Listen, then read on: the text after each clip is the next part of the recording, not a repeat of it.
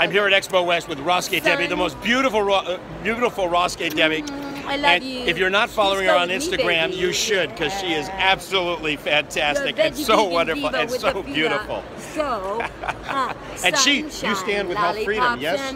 Rainbows. Yes, she does. Everything is beautiful and wonderful when we're together. Oh, God, I'm in love. And a lucky penny. Yes, I stand for everything.